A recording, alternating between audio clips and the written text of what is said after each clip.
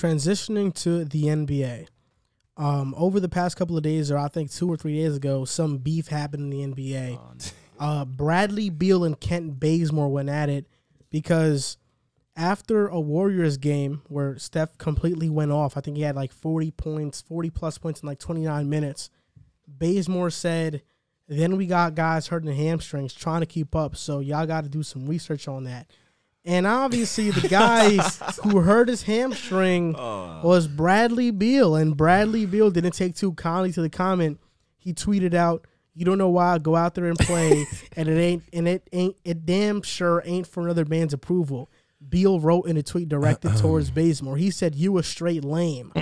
Oh. he continued Straight lame. and said, "It's funny you say that you you this guy's grammar's bad. it's Twitter. funny. It's funny you say that because your man's admittedly checked my numbers before the game, mm. but I'm chasing." Mm. And then Bazemore said this to defend himself after. I guess you can't joke anymore. I don't say things to ruffle feathers, but if you want to know what my loyalty is, it's to Curry. Anyone out there chasing him, it's gonna be tough.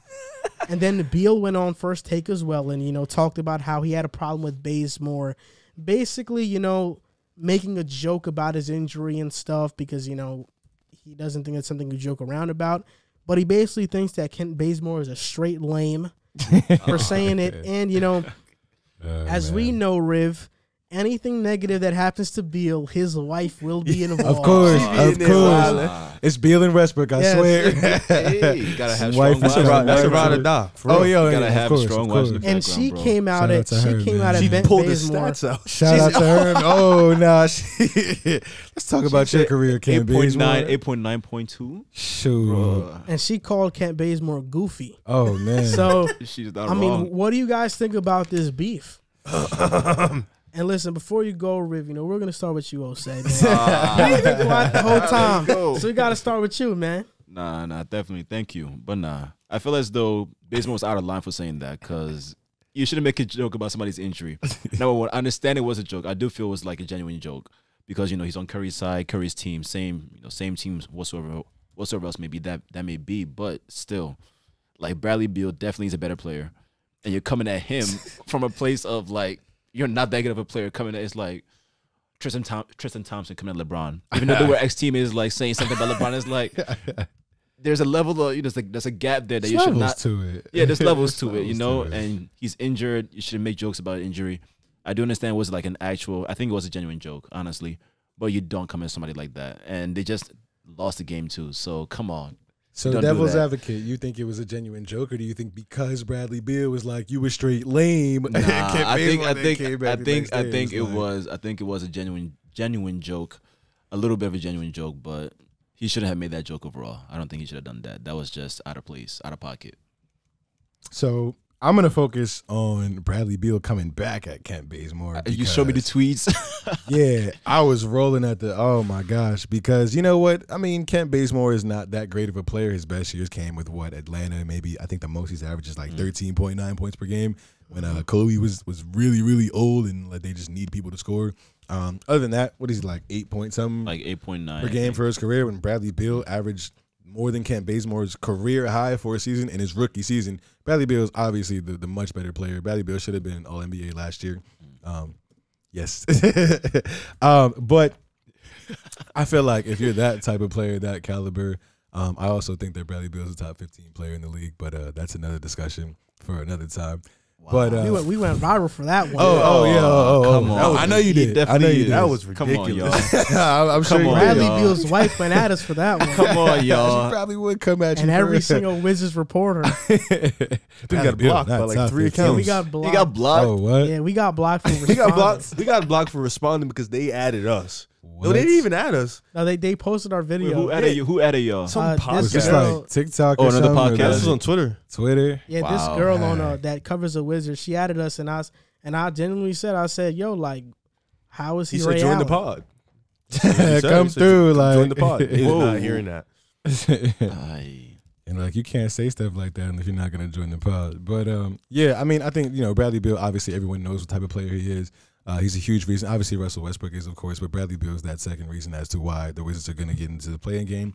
And uh, hopefully, you know, have a chance. I'd love to see them go further than just the play-in game and actually have a seed in the playoffs. So to me, Kent Bazemore, in terms of basketball aficionados, yeah, Kent Bazemore is pretty lame in terms of, you know, just talent, skill, overall, Yeah. basketball efficacy. Yeah, Kent Bazemore, Bradley Beal, no discussion in terms of that. So to me, I mean, yes, it was wrong to come at the dude's hamstring. To me, I'm kind of looking at that situation. If I was an athlete, like, okay, little bit of a low blow, bro. You feel me? You're gonna You took it personal. Exactly. I took that personally, and you know, keep in mind, athletes will take things personally, as we know from the Michael Jordan. came from. athletes will make up things to take personally. This was not anything to take personally that was made up. It was actually, dude, your hamstring got messed up because you were trying to chase Steph Curry. Okay. I don't think Bradley Beal is, uh, you know, he went on first take, like you said, and, and basically said, I'm not chasing the scoring title. I just want to win games. I think it'd be pretty cool for Bradley Beal to beat Stephen Curry, the greatest shooter ever for that scoring title. So I do think he was probably chasing. I know Steph probably looked at the thing too, because Steph cares a lot about his stats and his legacy. Um, but overall, there's no reason for Bradley Beal to re- even respond and stoop down to that level. To me, you're talking down to a dude who is far below you in terms of basketball as a whole. Kent Bazemore, your career was cool. You had a nice little run with the Hawks and Jeff Teague and Kyle Korver and those boys. But Bradley Beal has a chance to go to the Hall of Fame if he wins more. Yeah, I said that. Come on. Bradley Beal is a talented dude, one of the easiest, most pure scorers I've seen in the last decade. And to me, to steep down to a level like that, Ken Bazemore, just don't even let it rock, or don't even say anything and let it rock. And it's funny because Bradley Beal actually tweeted and said, "Should I let him rock or should I go at him?" He did ask the fans. And then he went at him. So I would have opted for just let it rock, bro. Are you a Bradley Beal fan? I'm a Bradley Beal. fan. okay. I like I Bradley see all Beal. these comments. The look, the looks like they were Bradley giving Beal. you was like, huh? Beal being the- Huh? one of the best pure Okay. score. Yeah. But is Bradley Beal going to the Hall of Fame or or or no? That is I just, think- don't I think he will. I, I didn't say I first think ballot. will I just it. said Mitch will he make Richardson is in it. will he What make to the Hall of Fame? Like Mitch, Mitch Richardson. who? the Mitch basketball, Richardson. not even NBA, like just for being good at, at That's what he does. Mitch Richardson Basketball averaged 20 points deep. per game. Hmm. Yes, He's sir. gonna make the Hall of That's Bradley ridiculous. Beal's gonna make the Hall of Fame. He was gonna Bradley- make Bradley Does he Hall deserve to make the Hall of Fame? I No, mean- He has to win, man. He has to win. Um, I didn't like some of the things you said. Uh, a lot, a lot of Curry jabs going on in there, but um, no, Nah, yeah, Steph is the great. Are you a Steph Curry fan? yeah. Okay, I'm a- I'm there we Steph go. fan. I'm I'm a a Steph fan. diehard Steph It's fan. more of a Okay, Kent Bazemore okay. jab. You feel Nah, me? yeah, um, nah. If I'm in Bradley Beal's shoes, uh, like, look at him, bro. He's not that good. He's say? not- Not that I get good. paid over 35 million. I'm a 31 points per game score. I'm an all star. You're not good, bro. You, yeah, you're riding for your guy, but your guy is carrying you. I, I would, Yeah. me personally, if I was Bradley Bill, I'd have been like, just whatever. Like, he can laugh what he wants. The NBA, it's not my friend. I'm not cool with him. Whatever. He's below me in terms of basketball. I don't need to tolerate this. In terms of putting myself in Ken Bazemore's shoes, I really don't know where he was going with this joke. It wasn't funny. At all. Like you don't laugh at somebody's injury. A hamstring is a serious injury too. Like, and this, they're fighting for a playoff spot over there. So this is not something to joke about. And his comments about him chasing Steph. First of all, Steph checks Twitter every halftime, so he probably seen Bradley Beal score the fifty. This is not something new. Steph Curry checks Twitter all the time. Actually, he checks it after every quarter. So this isn't something new. Steph admitting that he checked, he saw the scores because he's always on Twitter. So Bradley Beal's not. I believe it. Bradley Beal's not chasing the scoring title. He's not chasing Steph. Bradley Beal for half of the year was actually up on Steph pretty big in the scoring column. I think Steph was at like 27, 28. He just recently got up to about 31. He's ahead of him right now. So he Bradley Beal was never chasing him. I believe when he said he's just trying to get a win. But Ken Bazemore, he definitely went out of line because this is a so this is injuries. You know, this is something you shouldn't play around with mm-hmm. because people can get hurt and people could seriously lose their career, lose their love for the game with stuff like this. So this, especially when you're not good, bro. Like I've watched the Warriors play all the time. You're not good. Like you're not He's good. not. at- no, he's not He's, good. he's not good. So yeah, you can't be doing stuff like that, especially to a guy who's at that superiority to Mm-hmm. you as a basketball player. Like he's not LeBron, but to you, he is LeBron. Yeah. So you can't be doing those type of comments. You know, um, Kent Bazemore also has a history of being kind of a dirty player. There was two plays that I saw against Washington where he Oh, he God. pushed Beal after a play that happened like unnecessarily. Saw that. And then he also did the same thing to John Wall, and mm. both both times almost resulted in a fight. You know, but if I was Bradley Beal, I think I would have you know came at this in a different way. Not in terms of not responding. I think I just would have responded better.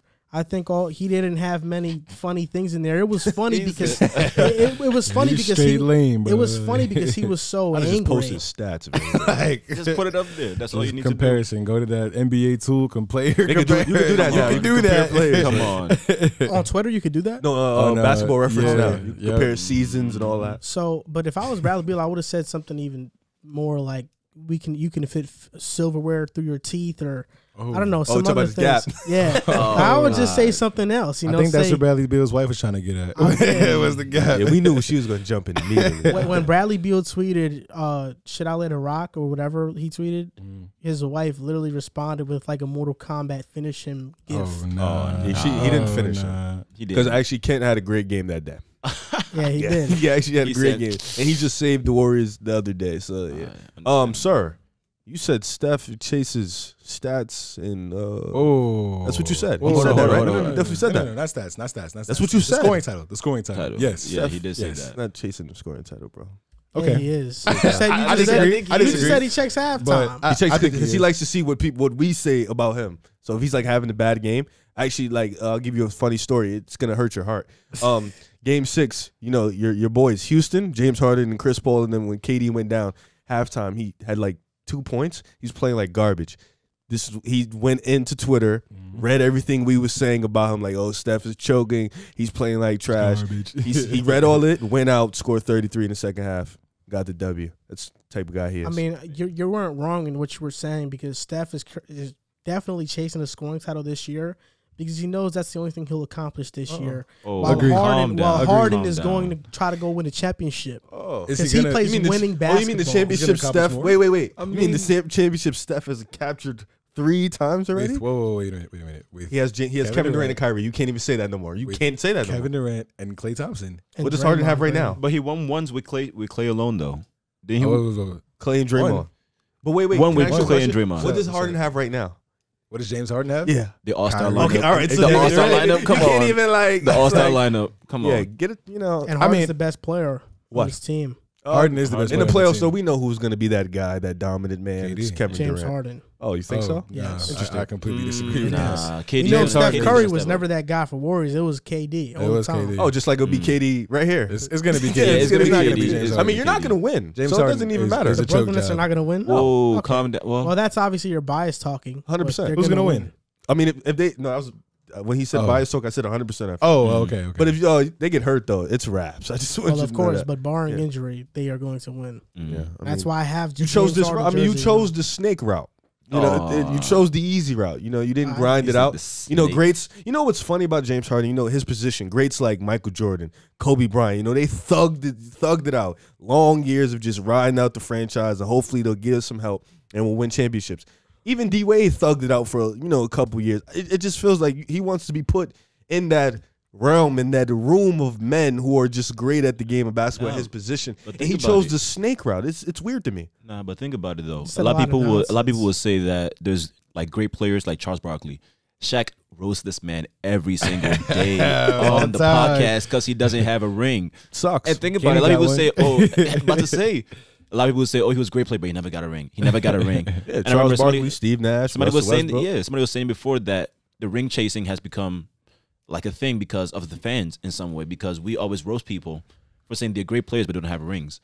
And so in some ways we created these players who like now they're they may be great but they always want a ring now because we always look at them like oh you're great you're good but you never had a ring. so 100%. that was So- In advocates of that. conclusion, shut the hell up. Harden's gonna win a ring. Oh lord. Yeah, Yeah, you know who happy wouldn't want about it. I riding KD's coattails? You know what happens. Yeah, He's the right definitely kid. not riding gonna have that KD's coattails. Steph, Steph did that. You know? Definitely asterisk. not riding Kevin KD's Durant's Nah. rings have asterisks every time. You Oh, yeah, about Harden's will definitely have rings. an asterisk. You say Kevin Durant has a ring, but what do you have to do to get that ring? It's gonna be the Mm. same thing with James Harden. It I'm, would've I'm just gonna say right now, he's still gonna have a ring. asterisks don't matter. Oh yeah, of gonna gonna have course you're gonna say that, but you used to bash Curry for his little asterisk for his ring. So now we're just gonna do the same. to Yeah, but he still has a ring. It doesn't matter. Well, he also Durant has two. MVPs. You know, a unanimous MVP. He has three rings. You know, so you know. and he has also some MVPs he stole from Harden. That first one, he definitely stole. stole. From Well, it's okay because Come that on. one unanimous is The better than one, everything Harden has ever won. He he The first deserved one the should first have been one. Harden. Come on. Oh, Unanimous is the only MVP Curry deserved. well, it's the best one ever. Oh. Steph also chases. I'm, I'm just gonna say that right now. Steph This also this, chases. this He sat entire out 15 fourth quarters. this entire year, you have been raving about Steph being some type of MVP player when I never the said he Warriors- should be the MVP. when though. the Warriors were losing all the time. They're the 10th seed, but They're the eighth. talking okay. He's the And wait, wait, they they and wait. To be fair, when But Steph when, plays, when, when Steph was the MVP, his first MVP, Yeah. Harden was the second seed and had better stats than Curry. Hmm. But shit, you want to give it to Curry? Okay, that's just biased. I mean, okay. advanced stats said he was, you know, his win shares was Aren't higher. you the same guy that doesn't like advanced stats? We're talking about the MVP though. Yet you don't. You're the same guy that hates analytics. Yeah, in the park. When we're arguing in the park, why are you telling me about analytics, bro? It's when we're talking about the MVP. I mean, Steph Curry has been an MVP player all year. Caliber. yeah. Let's let's be realistic. If he when he, Harden was playing better. I mean, yeah, but when he's if he when the games he's actually played, they actually are the same record as the Portland Trailblazers right now, which is a six seed. So all that eighth seed, tenth seed nonsense. Yeah, he they were one and seven when he and doesn't Harden was play. the second seed. Oh, he has Kevin Durant and Kyrie. Good. Good no, for him. not this year. I'm talking about the year that Curry robbed him of MVP. Oh, but then the year after, Steph won seventy three games. Oh yeah, Draymond and Klay made a big leap that year. I mean, but, But that's Steph that's made still, the biggest leap. That's still Draymond and Klay. That's not. That's not Harden and Kyrie. Say it again. Say it one more time. just say it one more I time. mean, Yeah, that's the, that's the real truth. yeah just say it one more time. Draymond really. I mean, he won Klay, 73 Klay is, without I'm about to say Klay's Hey, great, man. but Klay is not Kyrie. Neither is he KD.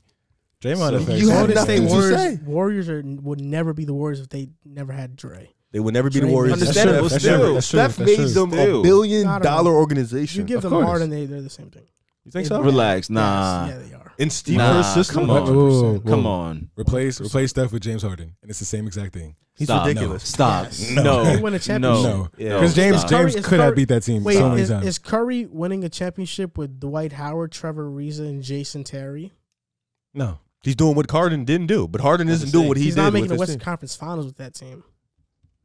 I mean, wasn't that the year he blew it to? Uh, no, no, that was the year where um they came back with the the Clippers, comeback, right? Yep. Not him. Josh, Josh Smith, Smith and them, and not James yeah. Harden. Josh Smith and Oh, them. They came back, right? Harden Yeah. played great after that game, and he Oh. he didn't play too bad that game either. Yeah. I mean, he played he played an exceptional closeout game seven game. So